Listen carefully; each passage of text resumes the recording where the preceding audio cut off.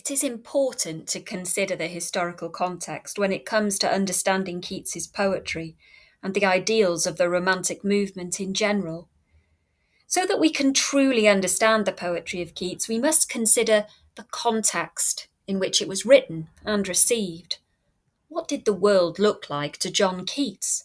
What is the historical backdrop to his remarkable work? Well, in Keats's day, times were certainly turbulent, and many changes occurred in the social fabric. It was a time of profound and widespread social and political upheaval. Firstly, we cannot ignore the impact of the French Revolution that was rumbling on in the background. The revolution was a reaction to the severe economic crisis of the time. The storming of the medieval fortress of Bastille on July 14, 1789, began as a hunt for arms, but also for grain to make bread. People were starving. The revolution led to the execution of Louis XVI and then the rise of Napoleon. There were political divisions all over Europe, and the revolution is considered by many to mark a strong division between the past and a new type of future. The French Revolution was a primary source of inspiration for the first generation of Romantic poets in particular. We could refer to the Romantic poets as the Big Six and divide them into two sets of three. We have here the first generation William Blake, William Wordsworth, and Samuel Taylor Coleridge. And then the second generation, including Percy Shelley, Lord Byron, and of course Keats.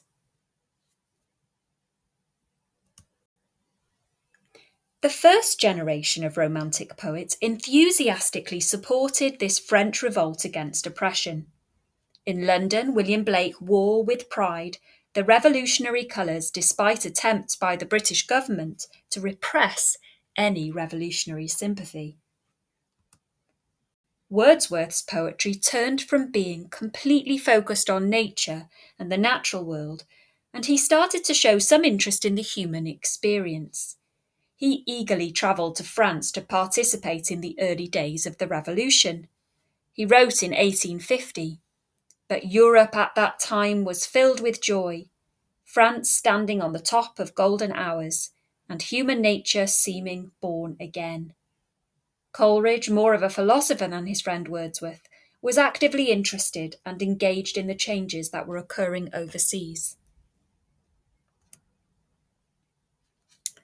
Closer to home, things seemed rather shaky too, with England in the middle of the Industrial Revolution. The Industrial Revolution was a period of history from 1780 to, 8, to 1850. Life up to now had been based on work in agriculture and livestock for most people. But in the 18th century, a change occurred. It became an age of industry and of manufacture Britain was being devoured by the voracious demands of urbanisation. Towns turned into cities. People who previously worked the land were now working in factories and mills, where the conditions were frequently appalling. The population expanded in towns and cities, but housing was often poor and sanitation was appalling. This resulted in widespread disease taken from Dickens's Journal, 1850. There are foul ditches, open sores, and defective drains, smelling most offensively. Not a drop of clean water can be obtained. In some of the wells, the water is perfectly black and fetid. The paint on the window frames has become black from the action of the sulphuretted hydrogen gas. Nearly all the inhabitants look unhealthy. The women especially complain of sickness and want of appetite. Their eyes are sunken and their skin shrivelled. New technologies also threatened the livelihood of some workers. The Luddite disturbances occurred between 1811 and 1817, when weavers and textile workers attacked mills and trashed machines. It echoed strongly of the French Revolution. In Manchester, apologies, in Manchester, the Peterloo massacre occurred in August 1819. British legislation kept corn prices high, and the result was active protests and marches. People demanded electoral reform, lower prices, and better wages, and rightly so. Their demands were just. This most notorious event, the Peterloo Massacre, meant that 60,000 people gathered in support of parliamentary reform. There was something of a party atmosphere as groups of men, women, and children dressed in their Sunday best marched towards Manchester. But the procession was accompanied by bands playing music and people dancing alongside. But it turned to carnage as the crowd was violently dispersed by the military on the orders of the government. People who were already cramped, tired, and hot panicked as the soldiers rode in, and several were crushed as they tried to escape. Soldiers deliberately slashed at both men and women, especially those who had banners. It was later found that their sabres had been sharpened just before the meeting, suggesting that the massacre had been premeditated. Between 10 and 20 people were killed and hundreds more injured. The cavalry were in confusion.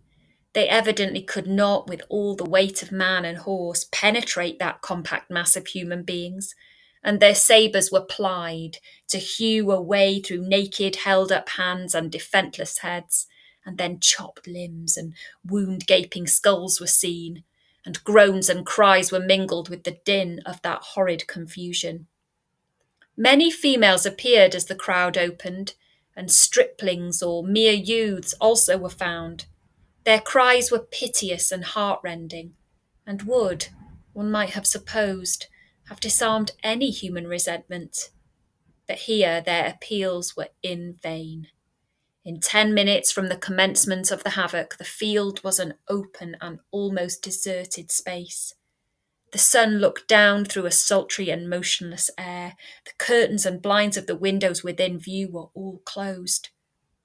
The hustings remained, with a few broken and hewed flagstaves erect, and a torn and gashed banner or two dropping, whilst over the whole field were strewed caps, bonnets, hats, shawls, and shoes, and other parts of male and female dress, trampled, torn, and bloody. Several mounds of human beings still remained where they had fallen, crushed down and smothered, some of these still groaning, others with staring eyes were gasping for breath, and others would never breathe more. All was silent save those low sounds and the occasional snorting and pawing of steeds.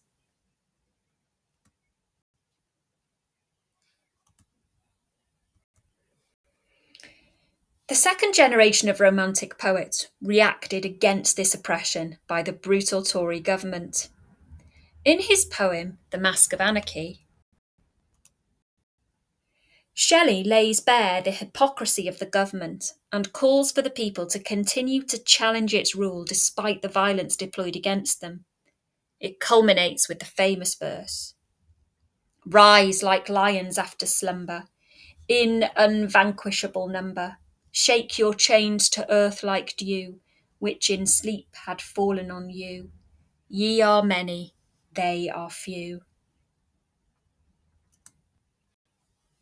So there we have it. The first two generations of Romantic poets lived through a time of extraordinary upheaval. The life altering French Revolution abroad, and here at home, the continuing Industrial Revolution. These events led to many changes in both culture and politics. We see poets of the time directly commenting on these changes Blake, Wordsworth, Coleridge, Shelley, and Byron show reaction to these events in their work. So, what about Keats? Well, Keats and politics don't naturally seem to go hand in hand. Here is a poet famous for nightingales, urns, and dying tragically young. We picture him on his sick bed in Rome, a fragile creature cruelly torn from life too soon. We don't tend to think of Keats as a radical, waving banners and writing angry letters to Parliament. But is this true?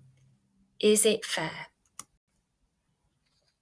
Well, not really. It is true that we don't see a lot of political commentary in Keats's work, aside from some of his early work, which was basically written to impress his new friend Leigh Hunt and his radical, cool social circle. But we do see some political stance in Keats's letters. He demonstrated that he abhorred tyranny and had great sympathy with those who were suffering. He was committed to a liberal view of history as progressive enlightenment, a continual chance for the better.